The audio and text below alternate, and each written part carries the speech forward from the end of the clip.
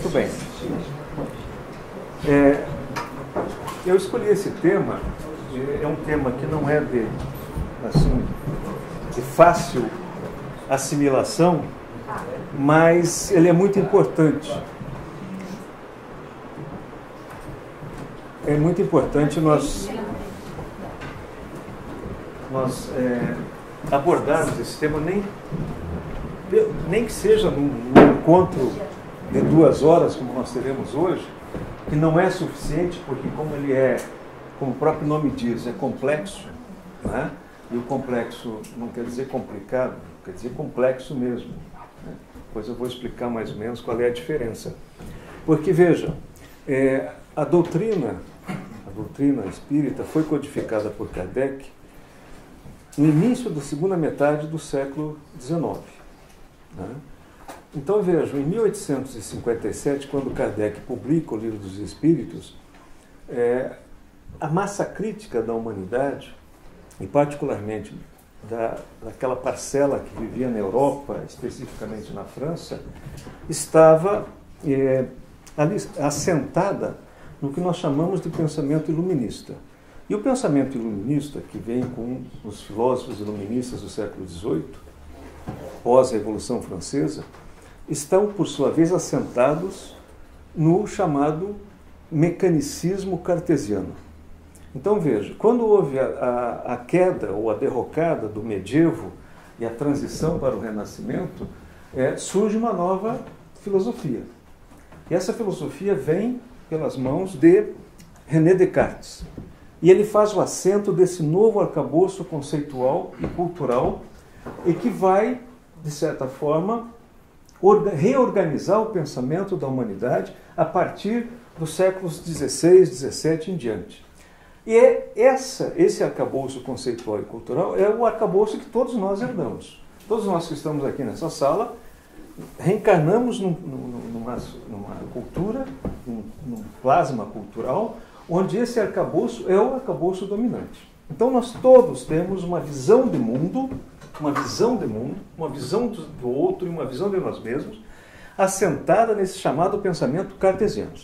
É, René Descartes, esse grande filósofo, é o precipitador desse arcabouço, junto com Isaac Newton, que é o grande físico, que vem a fazer o assento da, da, da física moderna. É, os dois fa fazem o que nós chamamos de paradigma cartesiano-newtoniano ou melhor dizendo, o próprio Capra, Fritjof Capra, que é um grande pensador contemporâneo, que escreveu um livro chamado Ponto e Mutação, ele chama de paradigma cartesiano newtoniano. Por que, que eu estou falando isso? Porque nós todos somos cartesianos newtonianos, embora a gente não saiba. A maioria de nós não sabe. Por quê? Porque não, não, não se fala sobre isso na escola.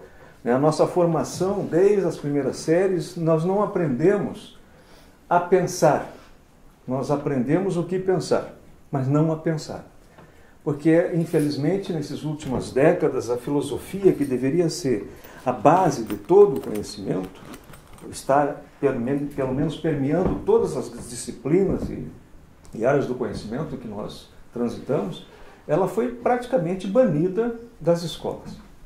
E mesmo quando voltou, voltou de uma forma bastante reduzida, diminuída, e que não tem trazido a contribuição que ela poderia trazer para a reflexão crítica. Dizer, é o ser pensando sobre o ser. Né? Nós pensando sobre nós mesmos. O irmão Grimm tem uma, uma expressão que diz assim: é preciso olhar o olhar olhando. Aí, quando ele disse isso, nós ficamos pensando, né? O que será que ele quer dizer com isso? Olhar, olhar, olhando. O que, que ele está dizendo? Que nós precisamos pensar sobre como nós olhamos o mundo, como nós vemos o mundo. Porque a gente, como nós não fazemos essa reflexão crítica e não aprendemos a pensar, né? É, é, nós não paramos para refletir sobre como nós vemos o mundo. É natural o que nós vemos no mundo é algo natural?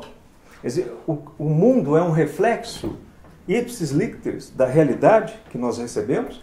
Dizer, o nosso cérebro reflete a realidade tal qual ela é? Ou o que nós vemos é uma forma possível de ver a realidade? É o que nós chamamos de realidade. Nós não pensamos sobre isso. Então, quando ele diz assim, nós precisamos olhar, olhar, olhando, é como se nós saíssemos de nós, ficássemos olhando o nosso, a nossa forma de olhar, para ver como é que nós estamos olhando o mundo. Isso seria um primeiro passo para nós começarmos a compreender que é necessário fazer a cada período grandes transições do pensamento crítico para alcançarmos grandes transformações. Mas, infelizmente, isso não, não aconteceu, não acontece ainda e nós somos herdeiros dessa forma de pensar. Mas veja, o mundo não para. Desde que Kardec fez a codificação, nós passamos por profundas, intensas e extensas revoluções no campo da ciência. E quando nós passamos por revoluções no campo da ciência, toda a natureza é reconceituada. Principalmente quando a revolução vem pelo campo da física. E é o que acontece no, no, no início do século XX, as grandes revoluções da física. O que é que, por exemplo, Einstein, em 1905, quando ele faz a primeira versão da teoria da relatividade, chamada relatividade restrita, e dez anos depois é vem o assento da chamada física quântica, ela, ela é despertada, digamos assim, em 1900 por Max Planck, mas ela só é elaborada como uma nova forma de organizar o pensamento no campo da física a partir de 1910. É, é 1915, 1910, 1915. Quando essas duas revoluções surgem no início do século, o que, é que eles fizeram basicamente? Eles reconceituaram a natureza. A natureza foi reconceituada. Eles fizeram o que fizera, por exemplo, é, Copérnico no século XV e depois Galileu no século XVI e início do século XVII. O que, é que eles fizeram naquela época? reconceituaram a natureza. A natureza era vista, por exemplo, a partir de um paradigma, o geocentrismo. A Terra era fixa, o mundo todo girava em torno da Terra e nada se transformava, tudo era repetitivo. Essa era uma concepção de natureza. Nada muda, tudo já está posto, tudo já está dado, portanto, não há o porquê fazermos questionamentos. O que nos cabe é apenas contemplar aquilo que, que o Criador nos deixou como criação e não é necessário um pensamento crítico. Tanto é que qualquer forma de investigação, de indagação, era considerada heresia. E muitas pessoas foram para a fogueira por isso. Então, isso foi uma reconceituação da natureza. Quando nós reconceituamos natureza, nós reconceituamos ser humano. A nossa visão de ser humano também se altera. Que nós, quando nós vemos um, um mundo fixo, estático, repetitivo, nós vemos um ser humano também estático e repetitivo. Por exemplo, a estrutura social da, da, da, Idade Média era uma estrutura rígida, piramidal. Nós tínhamos a chamada plebe na base, o clero nas classes intermediárias, os chamados cavaleiros, e a nobreza em cima. Isso não mudava, porque isso era visto como algo posto e dado. As pessoas nasciam nobres ou servos por natureza. Assim era e assim tinha que ser. Então, por exemplo, um servo daquele período nem imaginava que ele pudesse ascender socialmente e se transformar num nobre. Isso nem passava pela cabeça do servo e muito menos do nobre. Não havia essa expectativa de mobilidade social como nós temos hoje. Porque esse era o paradigma dominante, é como se isso fosse natural. É como se o mundo daquela forma fosse natural. Bom, como a, a história não para, a humanidade não para, vem aquelas, aqueles chamados pontuais que veem o mundo de forma diferente. Eles fazem exatamente isso que o irmão Green nos recomendou. Eles começam a olhar o olhar olhando e descobrem que aquilo que nós estamos vendo não é exatamente o que nós chamamos de realidade. É uma forma, uma expressão de uma realidade de acordo com o possível daquela época. E fazem leituras diferenciadas que revolucionam o mundo. Então, quando Galileu aponta um telescópio para, por exemplo, Júpiter, e descobre que Júpiter tinha quatro luas, que era o que era possível ver na época, porque hoje sabemos que tem mais de 60, é, ou até mais do que isso, é, é, ele, quando ele, ele aponta esse telescópio, ele corrobora aquilo que dissera Copérnico de que a Terra não era fixa. Quando ele coloca essa nova premissa, todo o arcabouço cultural e conceitual começa a desandar, porque ele estava sustentado numa visão da natureza fixa. A mesma coisa vem acontecer no início do século XX. O que é que os físicos mostraram? Que a realidade que nós vemos e imaginamos não é exatamente como nós pensamos. Para começo de conversa, não existe uma realidade fundamental. O que é que se imaginava? Que tudo que nós conhecemos é composto de pequenas partes que se aglutinam e formam as moléculas, os, né, as, a, a, os corpos complexos e tudo que nós conhecemos como mundo material. Essa era a ideia que nós tínhamos. Isso vem desde Demócrito, lá da Grécia Antiga, que ele já levanta a ideia do átomo, né, que é a partícula indivisível, então que tudo era constituído por blocos indivisíveis, que seriam as menores partes constituintes do que nós chamamos de realidade, e nós vimos o mundo dessa forma. Quando os físicos começaram a investigar se era realmente assim, descobriram que não era nada disso. Que o que nós imaginamos ser algo concreto, definitivo, não era nada no sentido material não existia uma realidade material tangível que nós pudéssemos tocar, pudéssemos pegar. Né? Pegar lá um átomo, um elétron, um próton e olhar para ele. Descobrindo que isso não é possível, porque eles não têm essa existência. Ou seja, aquilo que compõe toda a nossa realidade não tem uma consistência material como nós imaginamos. É algo que tem uma tendência a existir, mas não existe materialmente. Parece algo assim absurdo, completamente contraintuitivo e, e, e às vezes até parece uma loucura dizer essas coisas. Mas, resumindo, é exatamente isso que os físicos descobriram. Então, o que, que eles fizeram? Reconceituaram a natureza. A partir desse ponto de inflexão, tudo deve ser reconceituado, inclusive o ser humano, e principalmente o ser humano. Muito bem, nesse período anterior, se o ser humano era contemplativo de um mundo já posto, quer dizer, nós éramos apenas observadores de um mundo já posto, quando nós revertemos isso, invertemos essa, essa, essa, essa relação com essas descobertas e invenções a partir das, da, da revolução da física, o papel do sujeito ou do ser humano se altera profundamente. Por quê? Eu estou resumindo bastante porque, evidentemente, isso não é tão simples assim. O que é que os físicos descobriram? Que a natureza e a realidade, quando nós olhamos para, para ela, nós, de certa forma, influenciamos a maneira como ela vai se apresentar. Veja, não existe uma realidade objetiva independentemente desse sujeito. Essa realidade, ela se apresenta a nós da maneira como nós olhamos para ela. Se nós mudarmos a forma de olhar, ela aparece diferente. Isso foi, eh, eh, foi comprovado através de inúmeras experiências, principalmente da chamada experiência da dupla fenda eles bombardearam é, o núcleo de, um, de, um, de, um, de uma partícula subatômica e perceberam que, por exemplo, eles pegaram, só para ter, ter, uma ideia do que eu estou dizendo, eles bombardearam o núcleo, colocaram um anteparo com uma fenda e uma chapa para ser sensibilizada.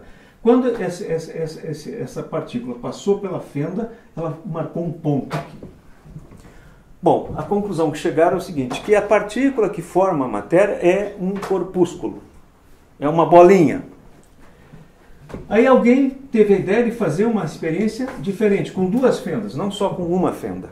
Quando fizeram o mesmo bombardeio, essa mesma partícula passou por essas duas fendas. Primeiro, o que surpreendeu, ela passou ao mesmo tempo na, pelas duas fendas, o que é um absurdo para a forma como nós vemos a natureza. Como é que uma partícula pode passar ao mesmo tempo por duas fendas? Mas foi isso que aconteceu. Por quê? Porque quando ela sensibilizou a chapa, que em vez de ser um ponto, foi um efeito ondulatório.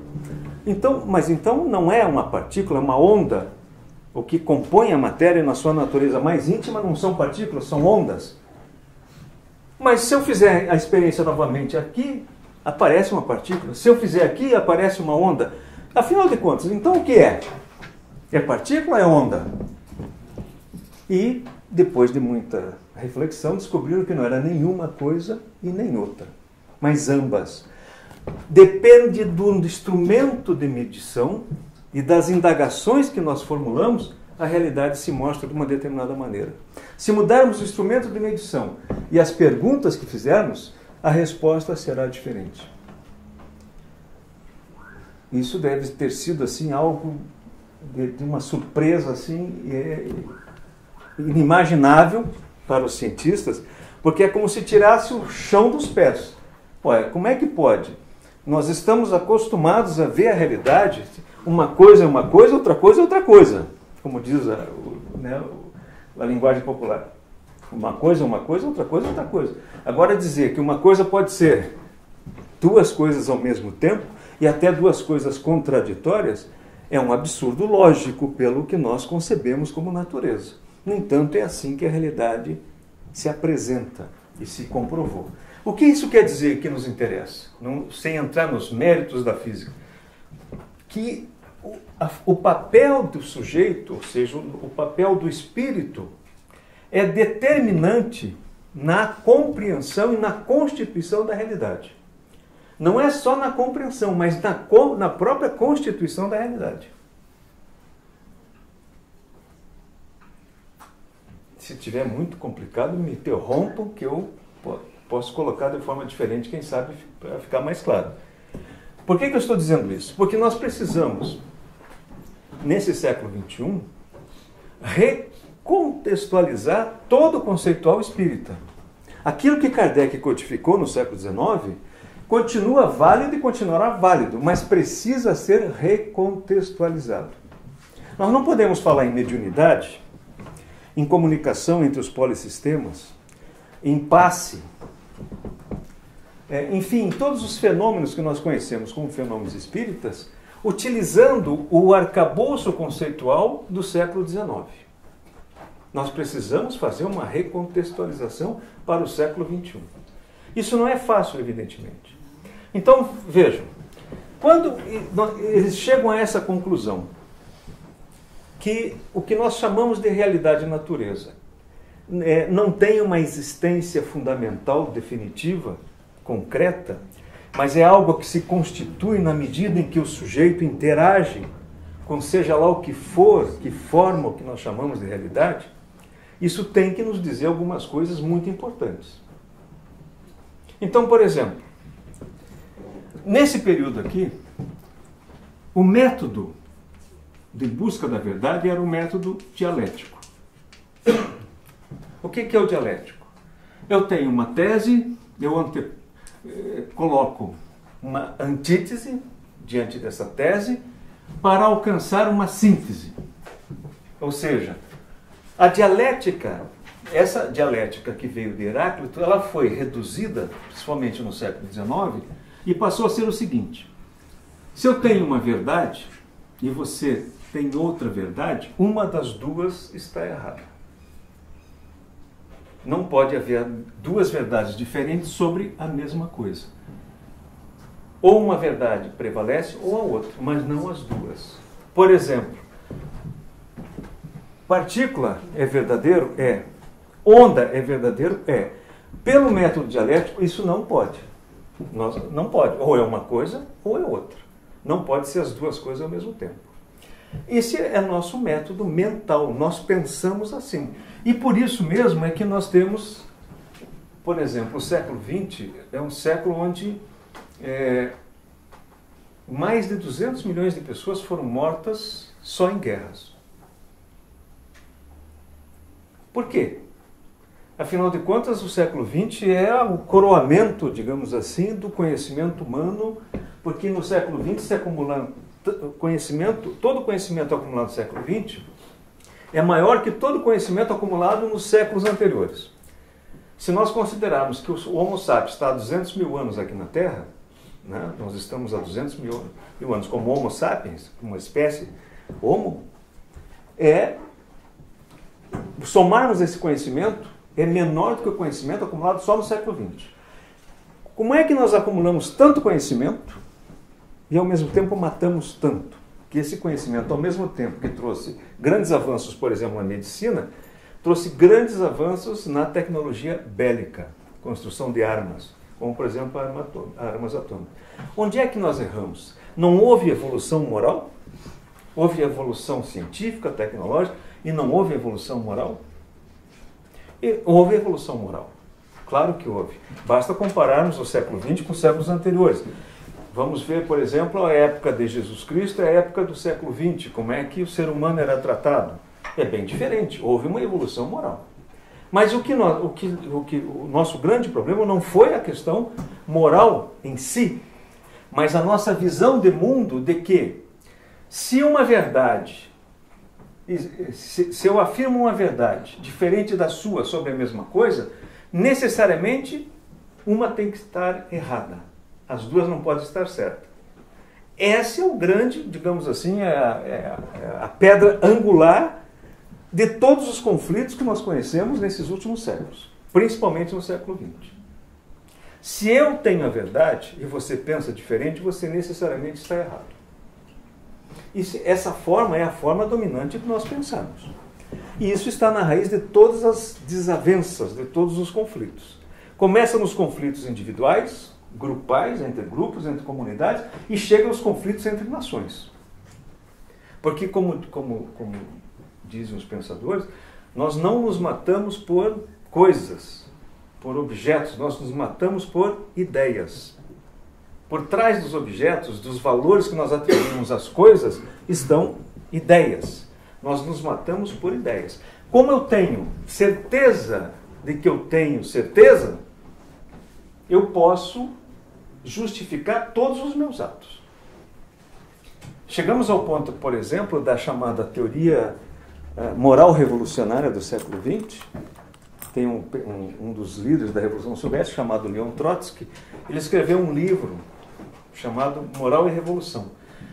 Em resumo, ele diz o seguinte: se eu tenho a verdade, tudo que eu fizer se justifica, inclusive matar. Até matar se justifica porque eu tenho a verdade.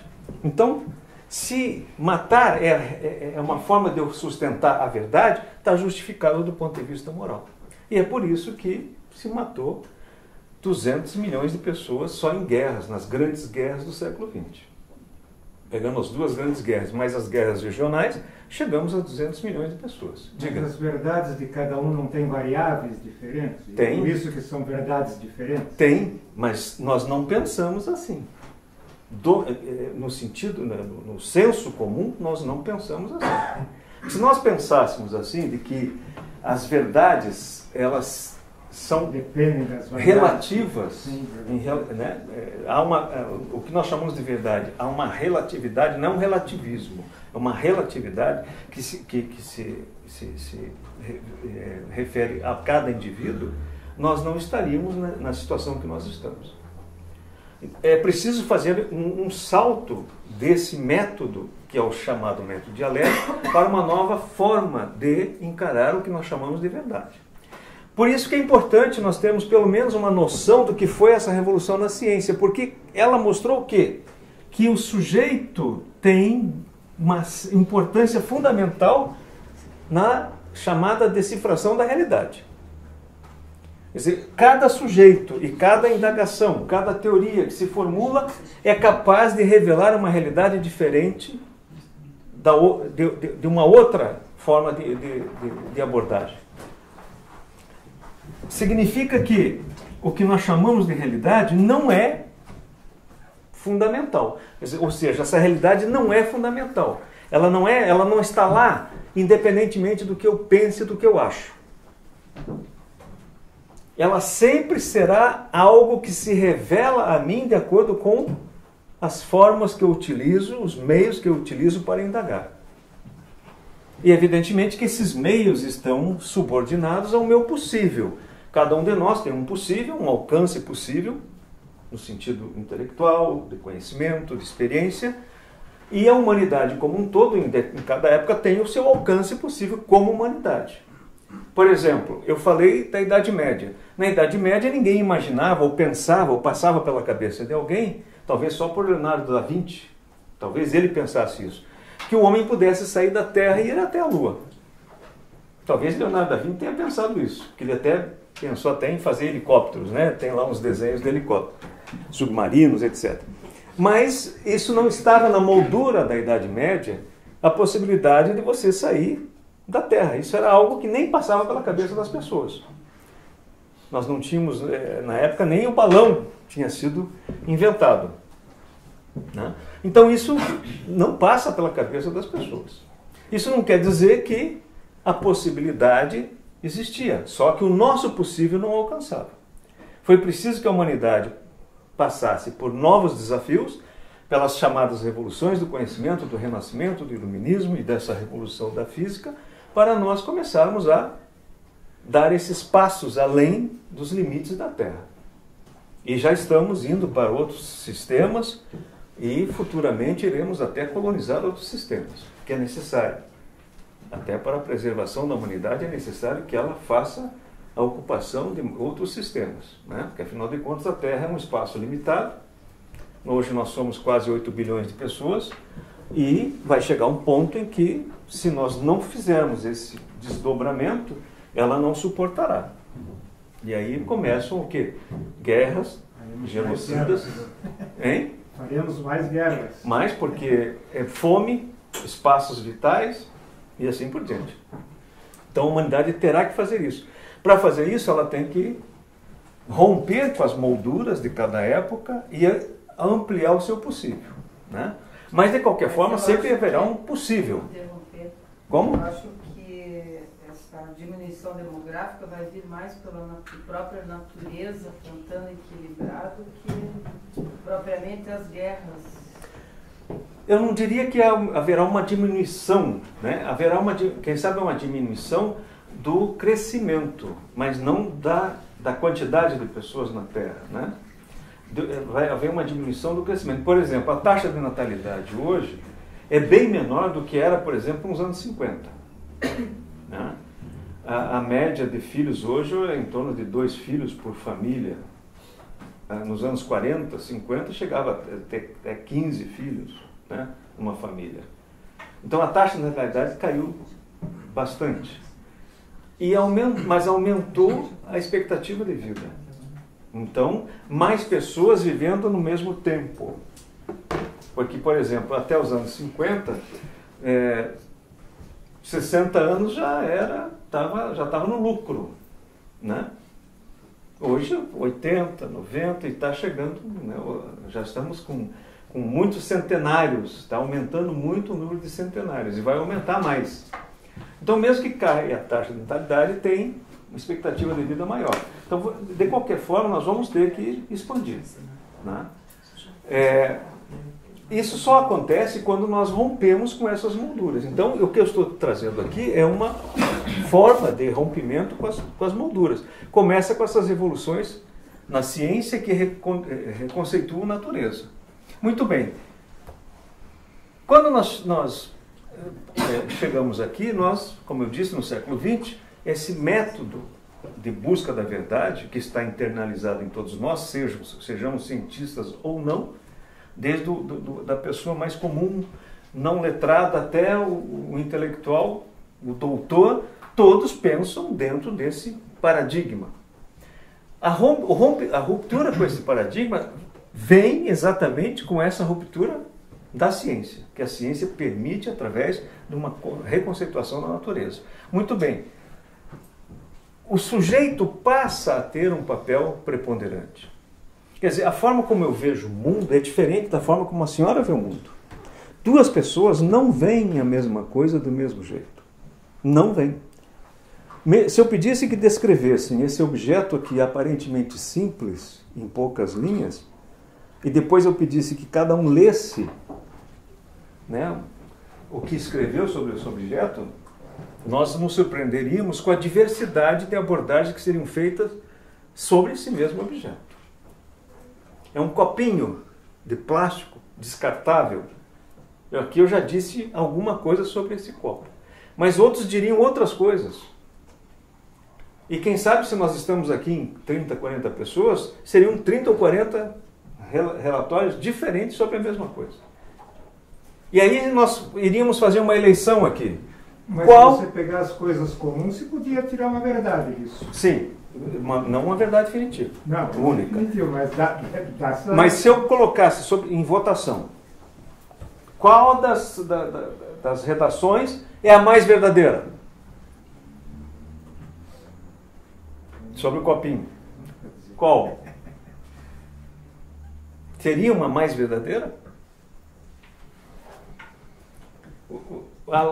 Há uma lógica que nos diz que a razão nos diz que não.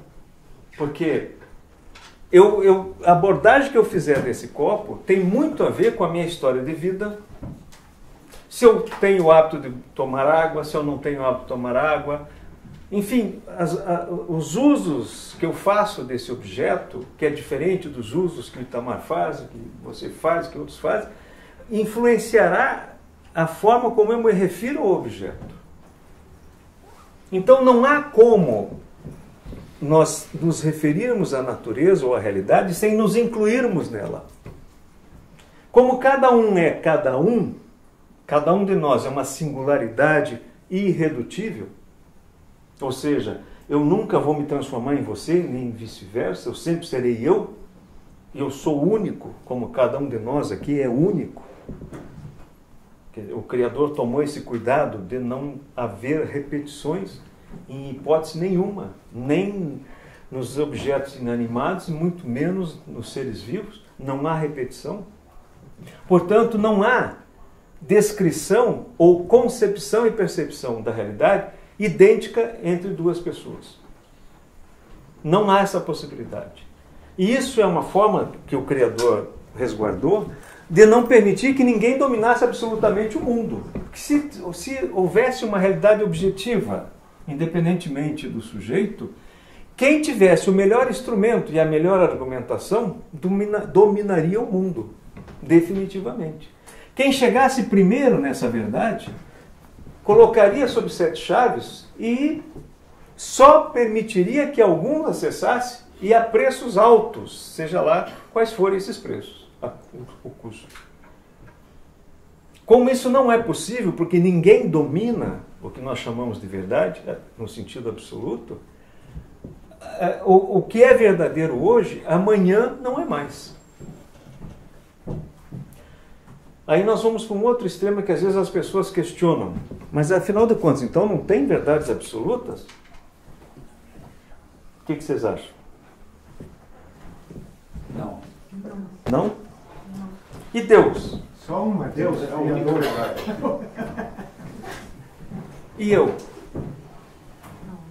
Eu, eu no sentido. Eu não sou uma verdade absoluta? Ser humano? Eu? Como no sentido. Você é porque tem Deus em você. No sentido cartesiano, o que, que Descartes disse? Qual é a frase mais conhecida de Descartes? Penso, Penso logo existo. E alguém tem dúvida de que existe? Então, se nós pudermos colocar em termos de absoluto, só tem essas duas verdades: que Deus existe e que nós existimos.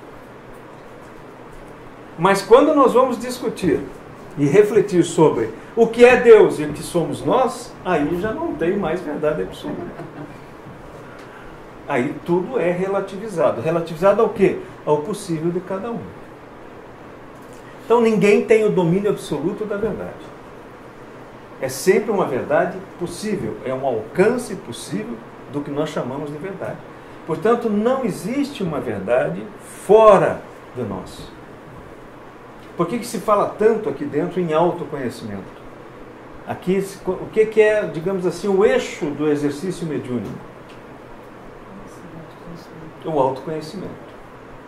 É, a gente custa entender o que é esse autoconhecimento. Porque não é só saber das minhas fraquezas, das minhas virtudes, né? é saber aquilo que eu tenho de substantivo, de substancial, de essencial, que tem a ver com as minhas origens, por que eu estou aqui, para onde nós vamos, quem permitiu que nós estivéssemos aqui, todo esse processo de reflexão é, no fundo, um autoconhecimento. Não há nenhum momento em que o ser humano não estivesse procurando por si mesmo, em todas as épocas.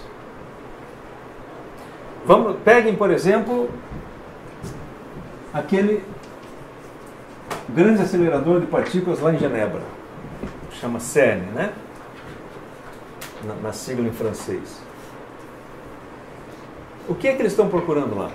Eles querem reproduzir, através de um grande acelerador de partículas que tem 27 km de diâmetro, está enterrado 100 metros no solo, com grandes ímãs maiores que essa sala aqui, bem maiores que essa sala, que custaram bilhões, tem centenas de países envolvidos, universidades no mundo inteiro. Eles querem reproduzir os segundos iniciais do surgimento do universo. Como é que o universo surgiu? O que, que aconteceu nos segundos iniciais ao chamado Big Bang? O que é que eles querem? O que, que eles estão procurando ali? Gastando bilhões, horas e horas de, de estudos. O que é que eles estão procurando? A nossa origem. A nós mesmos. Não há situação em que nós não estejamos buscando a nós mesmos. Por isso que é, são importantes essas revoluções, e mais importante ainda é nós fazermos a recontextualização do pensamento que nós herdamos. Nós não podemos ficar requentando ipsis literis aquilo que foi revelado no século XIX. Nós temos que recontextualizar. O que é que permanece de Kardec para nós? Deus. Mas hoje, por exemplo, você vai lá no livro dos Espíritos, Deus, causa primária de todas as coisas. Causa primária de todas as coisas. Está errado? Não. Mas hoje nós já podemos compreender, a partir de outras contribuições, que esse Deus que nós chamamos de que é a causa primária de todas as coisas, não é algo que está fora, distante, né? A gente quando vai fazer a prece, vamos elevar nossos pensamentos. Ele, hoje nós já pensamos em elevar no sentido de, de fazer um alcance maior, mas ainda no nosso imaginário é elevar porque Deus está no céu ainda. Isso é o, o status fundante católico que ainda é muito forte em nós. Não estou dizendo que isso está errado, é uma forma de nós organizarmos o pensamento. Mas ainda revela uma concepção do Criador, como um, um, um, um Deus pessoal que está em algum lugar olhando por nós. Hoje nós já podemos ver um pouco diferente. Ele não está nem lá nem aqui, mas em todos os lugares. Como? Ele é sempre um, um Deus imanente. É um Deus imanente. Por que, que é um Deus imanente? Se eu cheguei à conclusão de que o que eu chamo de realidade tem uma participação preponderante do sujeito, portanto, do espírito, não há realidade sem a consciência, então eu também sou um construtor da realidade. Eu, como, como princípio inteligente, como espírito, que foi criado, como todos nós, por, esse Criador, somos protagonistas na construção do que nós chamamos de realidade. Não somos coadjuvantes. Se não vejamos, se nós ficarmos com a ideia da criação, ou da criação, como pensávamos há, há 100 anos atrás, ou mais, nós estamos imaginando o seguinte, que Deus fez tudo, é como o pai construiu o patrimônio, a casa, comprou o carro, mobiliou a casa, encheu os armários de mantimentos, os guarda-roupas de, de, de, de, vestimentos, de roupas, e aí deu a chave para o filho: pronto, agora você está pronto para seguir a vida. Será que foi assim? Será que é assim? Deus criou tudo, deixou tudo pronto e agora abriu a porta, pode entrar. Eu, não, eu penso que não seja assim. Senão, me parece assim, um, é, qual é o mérito nosso? Está tudo pronto? Ou, em face dessa grande revelação da física, nós desde o princípio já somos protagonistas pela imanência do Criador, que, que através de nós expressa o que nós chamamos de inteligência, construímos tudo o que nós conhecemos, desde o princípio. Parece difícil de compreender isso e até de conceber. Porque, bom, nós construímos a Terra para morarmos aqui? Eu penso que sim. Eu penso que sim. Como é que a Terra se compôs? Se constituiu? Ela se constituiu de poeira estelar, que foi se aglutinando em função das, das forças das, da natureza, principalmente a força gravitacional, força eletromagnética, as forças da, da, da dimensão subatômica, reuniu e foi reunindo e formou o que nós chamamos de planeta. Mas para formar o planeta e, e, e, para termos a tal poeira estelar, ela tem que ser constituída de algo mais fundamental, que são as composições subatômicas. E que se organizam de forma absolutamente inteligente.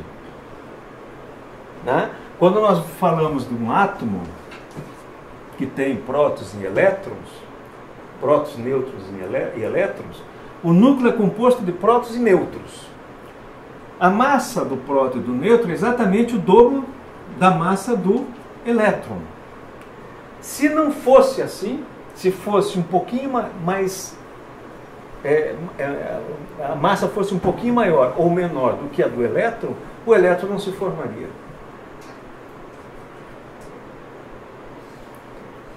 O universo surge e começa a se expandir exatamente como ele surge ainda é uma controvérsia. Não foi, hoje se sabe que não foi uma explosão como a gente imagina que seja uma explosão, mas foi um ponto de partida. Ele se expande e continua se expandindo. Há uma taxa de expansão no universo. Que significa o quê? Quantos metros por segundo ele está se expandindo? Uma velocidade de expansão. Tantos metros por segundo. Se fosse um bilionésimo mais lenta ou um bilionésimo mais rápido, o universo não se formaria. Não se formaria. Nós não estaríamos aqui. Então, todas as constantes universais são absolutamente refinadas. Há uma sintonia fina em todas as constantes universais. Portanto, não é algo do acaso. É algo que tem uma inteligência por trás ou uma inteligibilidade, melhor dizendo. Então veja, o que é essa inteligibilidade? Eu penso que somos todos nós em todas as épocas em que nós, desde o momento que nós fomos criados. Então nós somos co-participantes da construção do que nós chamamos de realidade. Esse mundo que nós vivemos foi construído por nós. Qual é a nossa idade? Quantos anos você acha que nós temos, Paulo? Milhões. Não sabemos, mas que somos antigos, somos. Que para chegarmos até o estágio humano, vejam, a Terra tem 4 bilhões e meio de anos que ela se formou. A primeira forma viva, no sentido orgânico, que se tem notícias, surgiu só um bilhão e meio de anos depois. Portanto, há 3 bilhões de anos atrás. E era um unicelular sem núcleo, anucleado, chamado procariota, né? Não é isso? Quem é que é da biologia? Hein? Felipe, você que é médico. Pode ser, pode ser. Pode ser, Levou 1 bilhão e 700 milhões de anos para que surgisse a primeira célula com núcleo, a eucariotes. Né? Aí, quando surge a célula com núcleo, ela se complexifica e permite que de 800 mil anos, milhões de anos depois, surja o primeiro peixe. Então foi reduzindo o tempo de evolução na matéria. Do peixe até o ser humano, mais 800 milhões de anos. Então foi, deu 1 bilhão e 700 para 1 milhão para 800 e foi né, de, um, de um unicelular anucleado para um celular, um celular nucleado até chegar a nós. É muito tempo. E antes disso? Não temos, não sabemos ainda. Um dia saberemos. Mas, de qualquer forma, no meu modo de ver, se a realidade é dessa forma, mesmo com os físicos têm comprovado, nós somos protagonistas do que nós chamamos de realidade. Ela não é algo em que nós somos passivos. Estamos aqui, ela está ali e nós não temos nada a ver com ela. É, nós temos apenas que observá-la e apreciá-la. Só para corrigir, já que eu sou da biologia. Sim. Todo ser vivo tem a propriedade de ter uma célula. Né? Sim. O procarionte ele tem que ser uma, uma célula organizada. Não tem núcleo, um né? núcleo, aliás. Só que não é um núcleo organizado. Sim. Né? Depois o eucarionte tem o núcleo Que, organizado. isso. O que aconteceu foi que nos primeiros seres vivos, antes de haver o ser vivo, né, quando se formou o primeiro ser vivo, que é o que a ciência traz, é, houve a possibilidade da divisão, né, da divisão. E daí a reprodução, daí um ser vivo se formou de verdade. Isso, isso. Mas isso levou, assim, como eu Muito disse, tempo. 1 bilhão e É, 700 existe milhões a de anos. teoria da, primeiro ter surgido uma, uma molécula dentro da água, um aminoácido, É. aí depois surgiu o ser vivo. Né? É, a ciência já, já, já chegou a, a, né, a conclusão de, a conclusões muito precisas sobre a composição química do que nós chamamos de elementos orgânicos, mas não consegue explicar o que nós chamamos de vida. É, eu acredito muito na teoria da panspermia cósmica, que é de que o primeiro ser vivo teria vindo de outro planeta. É, é uma Ela bem teoria. aceita pela É, é uma teoria. né? De qualquer forma, eh, nós sabemos que existe o chamado princípio vital, né? E Kardec chama de princípio vital. Que permite. É, que permite que é, aquilo, por exemplo, se você reúne oxigênio, hidrogênio, nitrogênio e carbono, mas você não tem um, elemento orgânico. Tem que ter o, o- chamado princípio vital. Isso a ciência não sabe exatamente como é que, mesmo que tenha vindo de fora, né, que seja uma, né, um ESO, um, processo ESO, não endo, é, começou de algum jeito. Como é A que... gente entende pelo Hein? também, né? A gente entende que o espírito, né? Sim, Ele com, com- depois da concepção vai, vai, vai se ligar. é, mas o, o, o, o, o espírito, ele, ele precisa da matéria orgânica no, no estágio né, do ser vivo, é, com o princípio vital para que ele possa fazer tudo isso que nós que você até se, se referiu, né, da, da reprodução, né, que vai se fazendo as, o crescimento celular, etc, etc. É, ele precisa do princípio vital. Ele vai organizar o que nós chamamos de, por exemplo, de corpo físico. É o espírito que vai organizar, porque ele vem já com um programa para é, eu vou ter tal estatura, cor da pele, tudo, ele vai organizar. Né? Tudo tem a ver com, com projeto de vida, missão, essas coisas todas. É o espírito que faz a. é, que ele tem, os elementos são da natureza, os elementos químicos, o princípio vital, mas a forma, quem dá é o espírito. Né? Então junta essas duas coisas. Mas a ciência não chegou até aí. A ciência não, ela não admite ainda o espírito. Isso está em suspensão. Por exemplo, na teoria da complexidade, já entrando, porque senão a gente não vai ter tempo de falar sobre ela, o que é que os cientistas, o que, que a ciência revelou? Que há uma unidade fundamental em todos os sistemas vivos. Ou seja, todos os sistemas vivos têm um processo de organização da vida que é universal, está em todos os seres. O mesmo sistema que organiza a vida humana, organiza a vida do, do, dos unicelulares, do, dos micro-organismos, das formigas, das abelhas, das aves, de tudo. Existe um fundamento é, organizador da vida que é universal. Mas os cientistas não conseguem dizer o que é esse fundamento, ou esse princípio organizador da vida. Eles deixam isso em suspensão. Eles não, não entram nesse mérito. Por quê? Porque eles não conseguem medir. Eles conseguem perceber através das descobertas da ciência que aconteceram é, a partir uma, do, do, da segunda metade do século XX, né, começo da segunda metade do século XX, 1948, a, o advento da cibernética. 1949, teoria da informação. 1953, a descoberta do DNA. Essas três grandes descobertas da ciência revelaram uma unidade fundamental de todos os seres vivos. Primeiro, DNA. Ele revelou o quê? Que na composição fundamental biológica nós somos absolutamente iguais. Não é isso? Nós, é, é, são quatro elementos, os nucleotídeos, né, que formam todos os seres vivos. O que difere é o que? A combinação. A combinação desses quatro elementos é que é diferente para cada ser e que nos faz diferentes uns dos outros.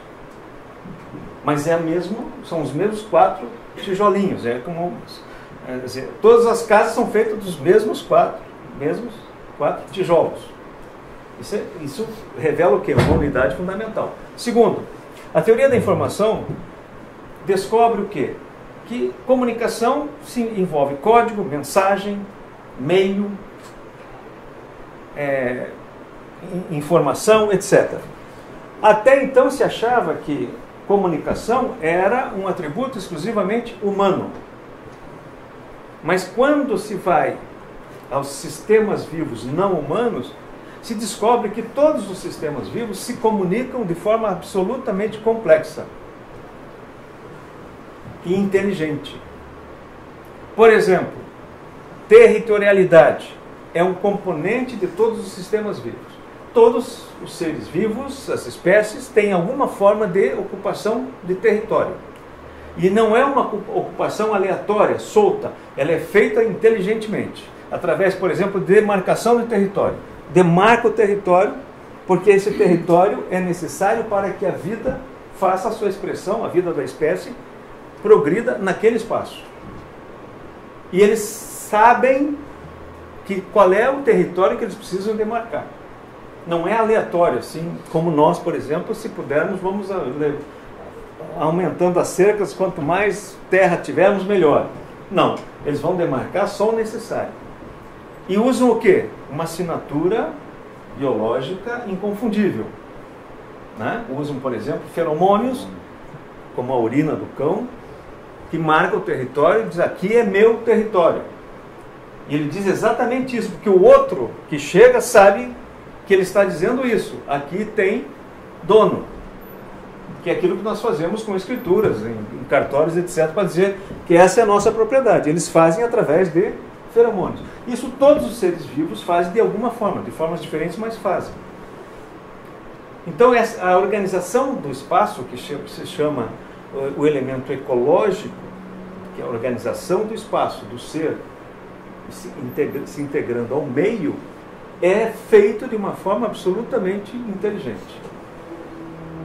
E essa comunicação, portanto, tem um código, o código é o feromônio, e esse código tem uma mensagem, porque ela é inteligente e inteligível. O outro sabe o que ele está dizendo. Quem tem cachorro em casa sabe do que eu estou falando. Mesmo que eles não precisem mais demarcar território, o que, que eles fazem? Eles passam o dia inteiro, se tiver mais de um, um vai lá, faz o xixi, o outro vem e faz em cima. E fica o dia inteiro fazendo isso.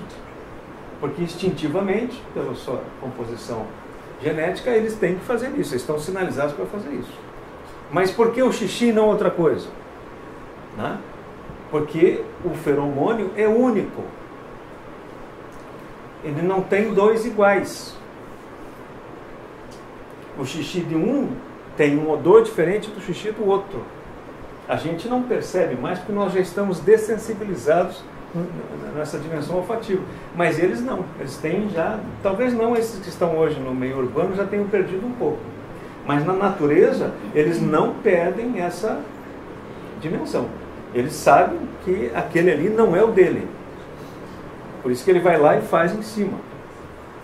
E assim é com todos. Os gatos, por exemplo, esfregam o bigode nos cantos e ele tem uma secreção que deixa ali um feromônio único, dizendo aqui é o meu lugar, aqui é a minha, minha casa. Né? Então, isso é universal, nós não somos diferentes deles. Nós temos, demarcamos território, nós temos definição de espaço, espaço estruturado finito necessário à composição da vida, Né? É, tem até leis sobre isso, por exemplo, é, essa sala está fora da, da lei, porque não poderia estar todo esse povo aqui dentro, tinha que ser uma sala maior. Né? Tem que ter tantos metros quadrados, né? uma pessoa por, por metro quadrado, uma coisa assim. É, as construções também têm determinações do- do- dos órgãos públicos de como é que deve ser as paredes, né, as separações, etc. Porque isso tudo influencia né, o bem-estar, né, a qualidade de vida das pessoas. Isso é territorialidade. Então eles começaram a perceber o quê? Que aquilo que nós imaginamos só humano não é, é da vida. Então a vida se organiza fundamentalmente da mesma forma, ou seja, de uma forma inteligente. Então essa descoberta da, da- da chamada complexidade é muito importante para nós, por exemplo, começarmos a pensar em ecologia e preservação do meio ambiente de uma forma diferente. Não só a questão de manter limpo por manter limpo. É que se nós não preservarmos as espécies que compõem o nosso ecossistema, nós estaremos ameaçando a nossa própria vida. Porque todo ser vivo é servizador. Todo ser vivo é um servizador. O que, que significa isso? Vou dar um exemplo que o autor que trouxe esse conceito dá. Ele se chama Albert Ducroc. Para quem quiser, se não me engano, tem um C aqui. É, o que, que ele diz? Todo ser vivo é um servizador. Que ele dá o seguinte exemplo: quando alguém vai frear um caminhão, o motorista vai frear um caminhão, ele pisa no freio e o caminhão para. A força que ele tem na perna é equivalente ao peso e a massa do caminhão? Não.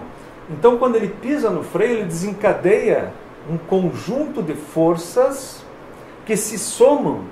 E lá no final, a soma dessas forças são, são suficientes para parar o caminhão. Só a força muscular dele não seria suficiente. Então tem todo um mecanismo hidráulico ali que vai se somar e chega até né, o sistema de frenagem e o caminhão para. Os sistemas vivos não são diferentes. Por exemplo, nós, é, se eu não me engano, as nossas células do nosso corpo, só 10% são nossas. Não é isso? Mais ou menos isso? Só 10% são nossas. Os outros 90% são dos micro-organismos que vivem, vivem conosco, é isso? Eu, isso tem um, tem um livro é, sobre isso. Agora não esqueci o, o título, não lembro do título. Porque nós não somos sozinhos, nós estamos repletos de micro-organismos, interna e externamente, e que fazem um equilíbrio conosco. Nós não teríamos, por, por, por exemplo, uma digestão adequada se não tivéssemos micro-organismos ajudando nessa digestão, junto com sucos, gástricos, essas coisas todas, não é isso? Fazem uma parceria conosco. É a mesma coisa que a frenagem do caminhão. Sem eles nós não vivemos. Sem alguns organismos que ficam, por exemplo, aqui na, na, sobrancelha, não, e funcionam como células fotoelétricas, nós não faríamos as transformações e até eh, a chamada vitamina D não, não seria possível. E assim por diante. São uma sé- As abelhas, se desaparecerem, talvez a humanidade não resista mais do que 5 ou 10 anos, porque não haverá mais, pelo menos 80% das polinizações não acontecerão mais. E hoje elas estão ameaçadas em função dos, dos pesticidas, inseticidas, etc. Esse é só um exemplo. Né? Mas veja, na natureza nós vemos centenas de exemplos que reforçam essa ideia da servização, de todo ser vivo servizador. Por exemplo, como é que as, as, as, as plantas, as flores principalmente, se reproduzem num determinado espaço?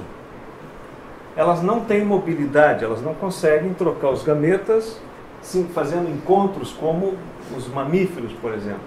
Elas se utilizam do quê? De uma parceria com insetos e pássaros que vão lá, são atraídos por um néctar adocicado, né, com um odor agradável, que serve como alimento. Quando o pássaro ou o inseto toca naquela flor e suga o néctar, ele também fica impregnado de pólens, que são os gametas daquela flor. Quando ele posa na outra flor, fez o um encontro. Como os mamíferos fazem, porque tem mobilidade. E com isso a vida viceja. E assim por diante. Então vejam, todos ajudam todos, indistintamente mesmo que seja para o equilíbrio através das cadeias alimentares. Nós estamos no mundo material e nós temos as chamadas cadeias alimentares espécies que se alimentam de outras espécies. Mas nunca no sentido de exterminá-las. Só o ser humano é capaz de fazer isso. As outras espécies não fazem isso. Elas nunca vão além de um certo limite. É como se elas tivessem uma uma, uma sinalização dizendo eu não posso passar desse limite, senão eu ameaço não só a vida daquela espécie, mas a minha também. É um condomínio que tem um regimento implícito, gravado na, na substância do ser ou do princípio inteligente, que diz o que cada um deve fazer para o conjunto de todo o sistema vivo. Que se chama o princípio conativo conatos. O que é que o conatos diz em síntese? Todo ser vivo concorre para preservar a vida.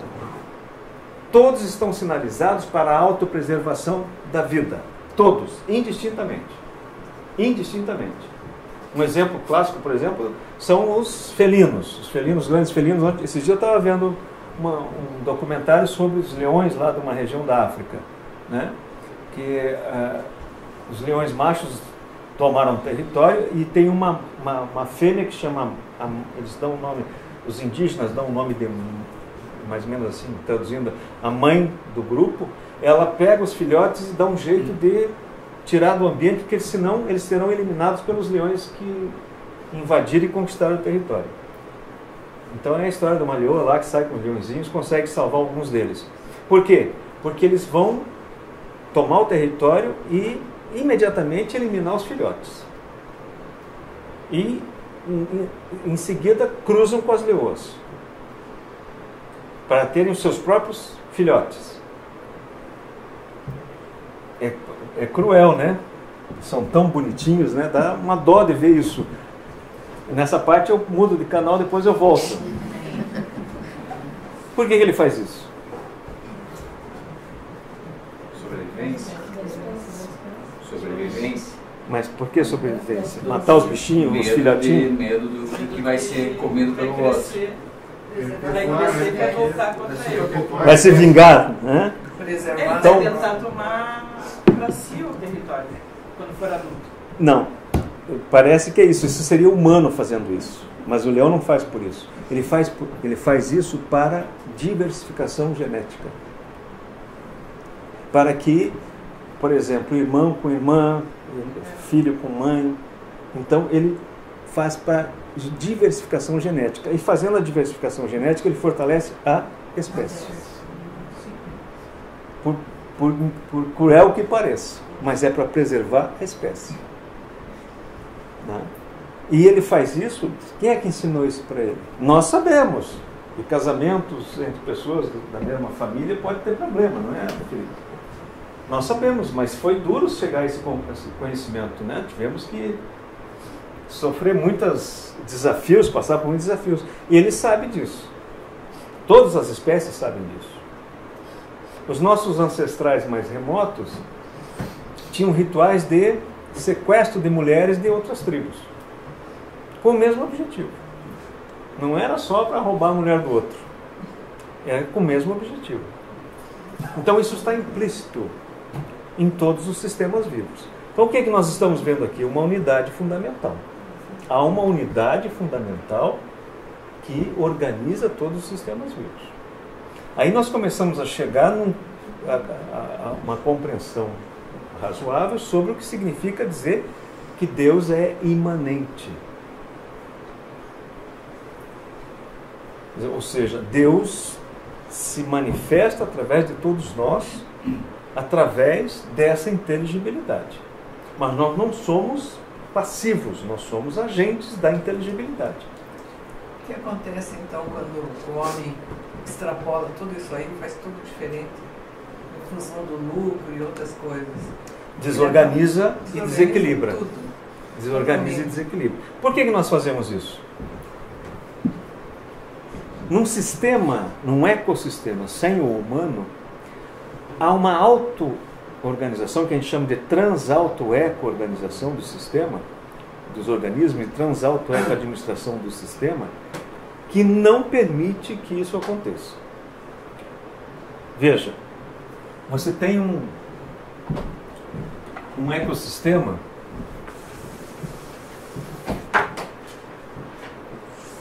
com várias espécies. Cada quadradinho desse, vamos supor que seja uma espécie. Cada espécie dessas tem lá tem uma, uma sinalização para fazer uma transalto-eco organização, ou seja, a, o tamanho da espécie, a quantidade de, de, de, de, filhos que ela vai gerar, de tal forma que nunca passa um, um limite que possa ameaçar as outras. Vou dar um exemplo dos insetos, que é o mais clássico, né? Todo ecossistema tem, entre outras coisas, insetos. Tem mamíferos, tem tudo. Tem aracnídeos, tem de tudo. Tem inseto. O inseto é, faz parte da dieta de uma grande parte da, desses elementos, dessas espécies. Os pássaros comem inseto, o sapo come inseto, cobra come inseto, enfim. Mas eles são necessários porque eles fazem parte da cade da, das cadeias alimentares. O inseto ele se reproduz em larga escala. Cada mariposa, cada fêmea, ela deixa milhares de, de descendentes. Porque ela vive pouco, mas ela deixa um monte de filhos. Os filhos, por sua vez, também vão viver pouco, mas deixa também um monte de filhos. Mas nunca passa um limite, porque assim como nascem muitos, morrem muitos, porque são comidos pelas, pelas outras espécies. Mas, se você fizer um levantamento, você vai ver que tem sempre um, uma quantidade média de insetos no ambiente. Entre mortes e nascimentos, sempre tem uma quantidade média. É como se nessa sala sai um, entra um, sai um, entra um, sempre tem 30 pessoas. Eles, a estratégia de reprodução dos insetos é adequada às suas necessidades e ao papel que ele cumpre no conjunto. Já os mamíferos não podem ter a mesma estratégia reprodutiva. Porque se eles se reproduzissem na mesma escala, eles sufocariam as outras espécies. Então, o mamífero dá quantas crias? Quatro, cinco. E não é toda hora. Quem sabe é uma vez por ano, duas vezes por ano, mas não como inseto que é todo dia. Nesse conjunto todo, tudo se equilibra. Então, é um condomínio que tem um regimento implícito. Não está lá na, na, no elevador para todo mundo ler. Está dentro de cada um. E cada um sabe o que tem que fazer. Aí chegou um caboclo e fez uma casinha aqui e começa a explorar esse ambiente aqui. E aí começa a fazer aquilo que você falou. Começa a desorganizar já faz um desmatamento aqui, já começa a caçar além do necessário, já, já começa a fazer comércio de peles, etc, etc, e desorganiza o ambiente. E aí elimina uma, um conjunto de espécies que é alimento da outra, essa outra desaparece, mas como ela é predadora de uma outra, aquela outra cresce e desequilibra o ambiente. A Austrália teve um problema sério, por exemplo, com gatos, gatos domésticos não existiam gatos na Austrália. Aí os, os, os colonizadores levaram os gatos e os gatos começaram a eliminar um roedor que tinha lá, na, que era nativo, e começou uma praga de besouros, uma, um tipo de inseto lá que começou a infestar. Por quê? Porque os, os roedores eram predadores daquele inseto. Eles tiveram que contratar os aborígenes australianos para caçar os gatos, para diminuir a população de gatos para voltar ao equilíbrio. Assim como nós temos aqui o problema com os caracóis aí que vêm nos navios, né? Que não têm predadores naturais e estão criando um problema sério de desequilíbrio ecológico. Então, por que, que nós fazemos isso? Os, os insetos, os, as aranhas, as cobras, os, não fazem isso, mas nós fazemos. Por quê?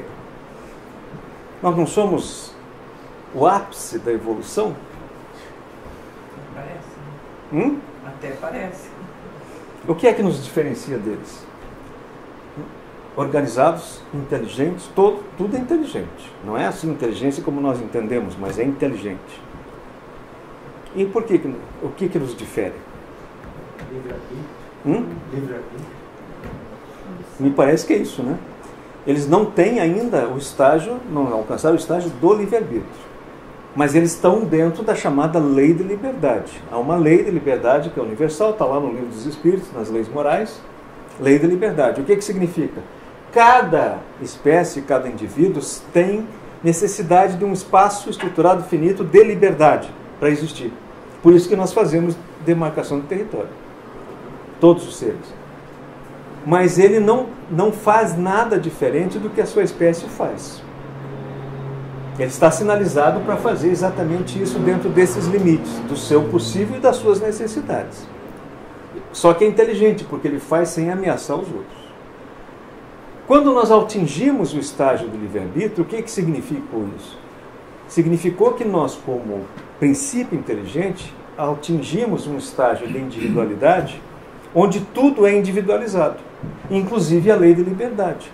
O livre-arbítrio é a lei de liberdade individualizada. E como é individualizada, cada um vê a lei de liberdade de um jeito. E começa a avançar o sinal. Até descobrir que quando todos avançam o sinal, todos perdem. E aí nós vamos aprendendo com o exercício do livre-arbítrio a convivermos. Que veja, imagine que o livre-arbítrio seja mais ou menos assim, graficamente. Cada um pode se expressar infinitamente. Cada indivíduo pode. Mas quando eu, eu, eu me expresso infinitamente e você se expressa infinitamente, nós vamos ter uma zona de interseção. A minha autoexpressão vai se chocar com a sua. E aí vai dar, vem o conflito. E aí nós temos que resolver o conflito. Aí surge o quê? O que é que surge? O que é que nós temos que revelar, que já está em nós, mas não está revelado, para que nós possamos continuar agora nessa nova situação?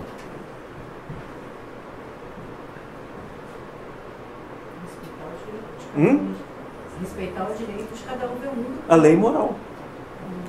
Que já estava em nós, só que não era necessário, porque geneticamente nós estávamos sinalizados pelo mesmo fundamento, só que pelo mesmo princípio.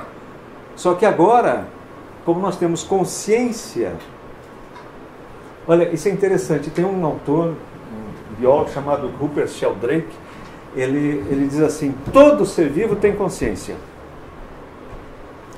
Todo ser vivo tem consciência. Isso é, às vezes até é, um, é uma, um, uma heresia dizer isso no meio acadêmico. Alguns cientistas acham isso abominável. Mas ele diz que todo ser vivo tem consciência. A diferença, porque não parece que ele tem consciência, porque ele sabe exatamente o que ele tem que fazer.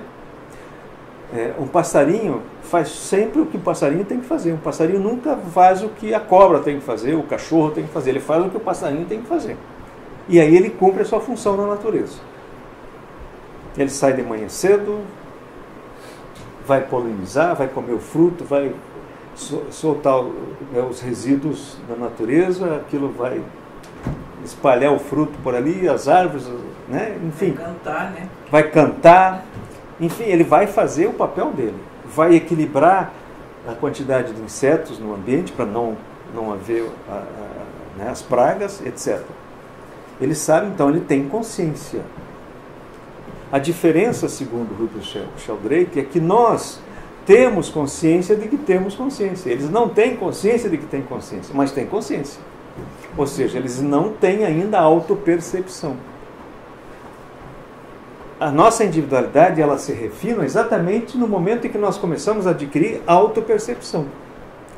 E isso é, é tão antigo, essa compreensão, que está na mitologia grega, está lá na, na alegoria bíblica, nós vamos encontrar isso nas mitologias aborígenes, americanas, africanas, asiáticas.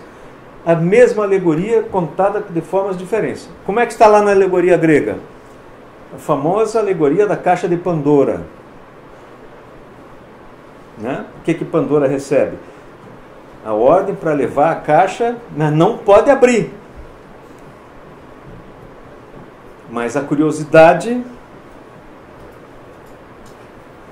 irresistível faz com que ela abra a caixa e o que, que aconteceu? Liberou todas as maldades. Libera todas as maldades. Fugiram as maldades. Ficou só o que lá dentro? A esperança. O que, que é, essa mitologia quer dizer? Que um, há um momento em que nós estamos diante da possibilidade do que? De errar mas há uma esperança que eu aprendo com meus erros. Nós vamos encontrar lá na alegoria bíblica o que? O pecado original. Era tudo perfeito, paraíso, uma maravilha. E de repente. Então vejam. A autopercepção. É, o que é que, o que, é que esse, essas, essas mitologias revelam? uma compreensão já da primeira mão, lá dos nossos ancestrais mais antigos, de que há um momento de transição entre a consciência e a consciência de que você tem consciência. Quando você alcança a autopercepção, você está por conta própria. Você passa a ter a possibilidade de tomar decisões e fazer escolhas diferentes do padrão genético. Mas quando você está diante da possibilidade de fazer escolhas livremente, você está diante da possibilidade de errar. A verdade nasce do erro. Não nasce do acerto. A verdade nasce do erro. Se a verdade nascesse só do, do certo, nós não saberíamos que é verdade. Só através do erro é que nós descobrimos a verdade. Pelo certo, nós não descobrimos a verdade. Parece um, né, um, um paradoxo. É um paradoxo, né? Veja, errar, está lá, lá no latim, errare humanum est. Errar é humano. Nada mais humano do que poder errar. Reincidir no mesmo erro, que também é humano, é que começa a ter as consequências morais. Porque errar nós sempre erraremos. E é justamente o, processo, o desafio do aprendizado vai nos induzir a cometer erros na busca de acertar. Uma vez que nós descobrimos a forma certa de fazer, nós agregamos aquilo à nossa experiência. Agora, eu insisto em voltar a, repetir o erro conscientemente, aí tem consequências morais. Aí eu passo a ser responsável por, por, aquela, por aquela decisão. Né? É o que está hoje nos nossos códigos jurídicos, é o que regulou essa possibilidade. Como, como substância, o livre-arbítrio é infinito. Mas como exercício, ele é limitado. Bom, temos alguns minutos ainda.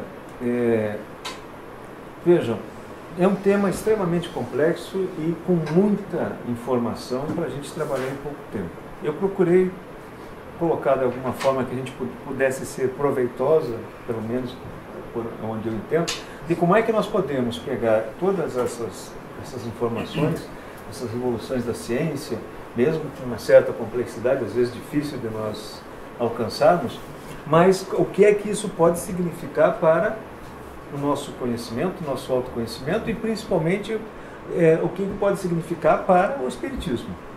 Não? Como é que nós podemos fazer a contextualização do conhecimento espírita com base nesses avanços da, da ciência? Então, por exemplo, a gente fala muito em intuição. Né? Como é que funciona a intuição? Todo mundo sabe o que é. Mas se perguntar, não sabe dizer o que é. Né?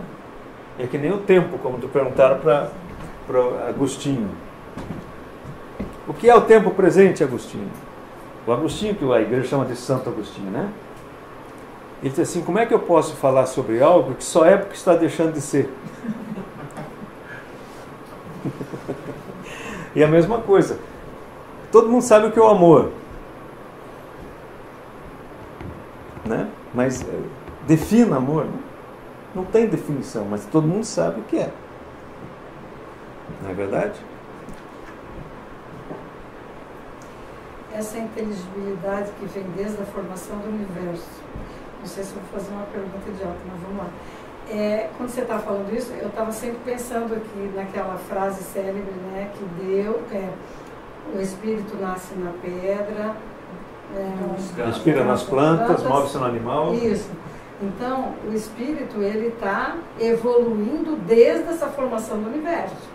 E usando essa metáfora aí, eu acho que a gente consegue, porque ele chega no livre-arbítrio, mas ele passou por tudo isso, né? Dá para usar, fazer usar essa Sim. metáfora? Sim, é, essa é uma metáfora que foi emprestada lá do Oriente. Uhum. Se eu não me engano, foi Leon Denis que trouxe isso lá do Oriente para o Ocidente.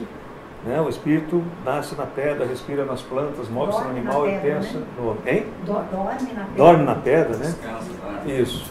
Dorme é melhor do que nasce, porque ele não nasce na pedra, né?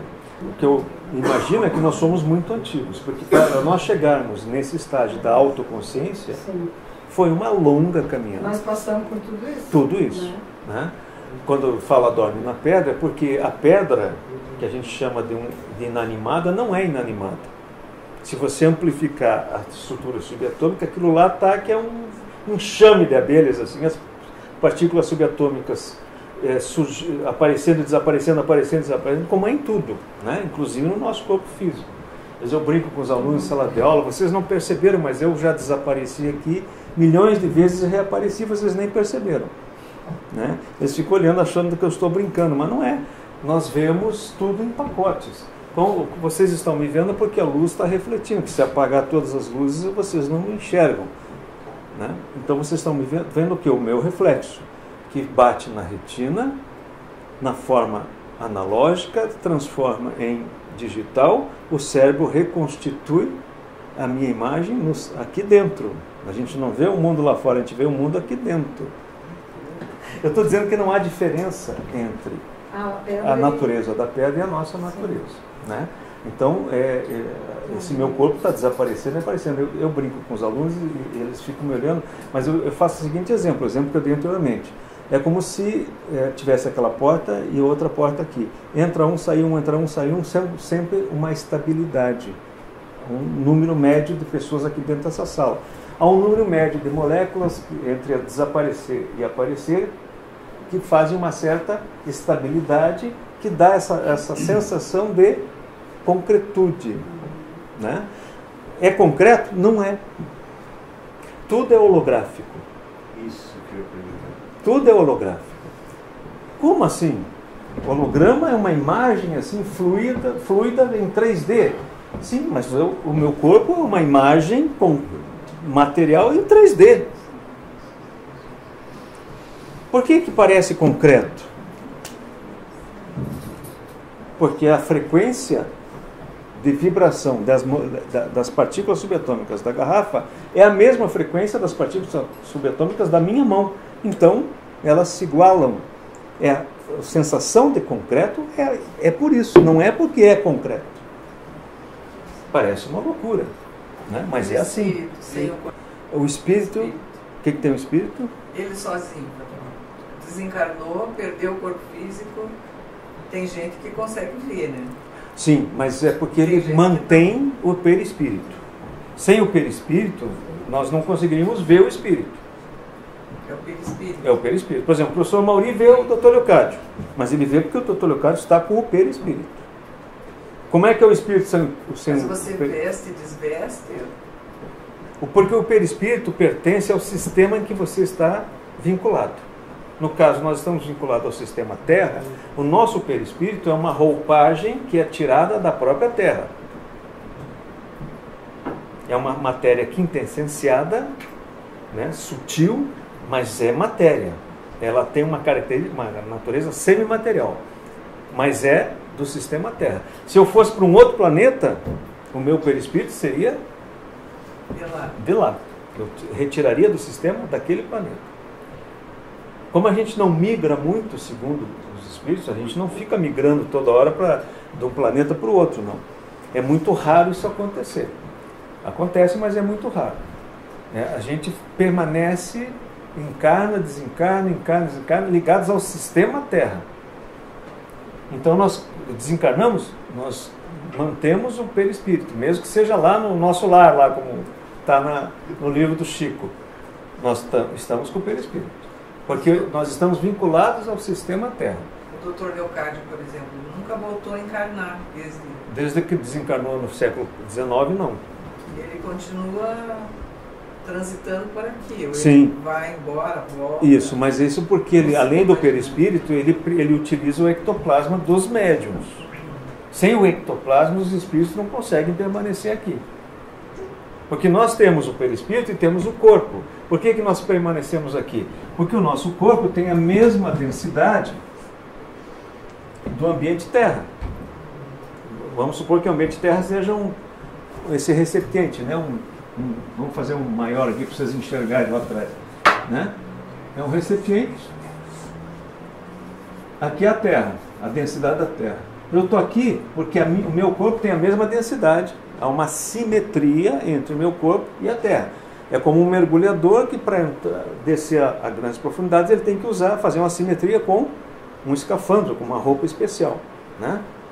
O espírito para descer aqui, é, o espírito é como se fosse uma, uma cortiça, um- uma rolha, né? É cortiça que chama? É, né? É, para ele ficar aqui, ele tem que se revestir do mesmo elemento, que é o ectoplasma.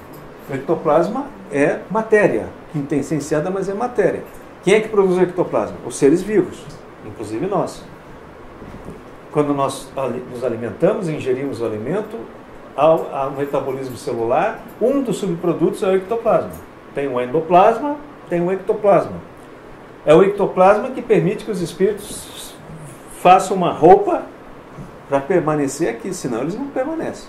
E ele tem um tempo de duração, por isso que eles não ficam aqui indefinidamente. Eles têm que ter reservas, por isso que tem ectoplasmia, que eles fazem reserva de ectoplasma dos médios que ficam ali segunda, quarta e sexta, fazendo a concentração, a retirada do ectoplasma, eles guardam isso em, em recipientes especiais, ou, né, balões especiais, não sei como é que é, mas que eles utilizam para fazer atendimentos nas residências, nos hospitais, etc. né? Sem isso, eles não conseguiriam permanecer aqui. E veja, não é todo ectoplasma que serve para isso, é alguns tipos.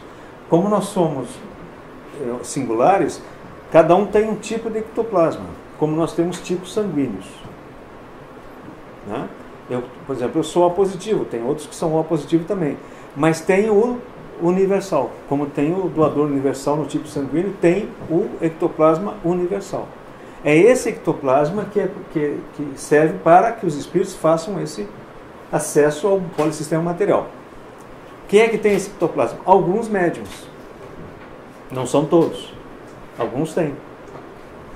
Mas os que ficam ali todos têm? Não. Alguns têm, outros, outros têm os tipos diferentes. Aí o que, que acontece? Nós entramos na sala, ficamos próximos ao professor, captamos o, o- o ectoplasma universal de acordo com a especificidade do meu ectoplasma. É como se fosse uma difração da luz. Eu pego aquela frequência que é do meu ectoplasma.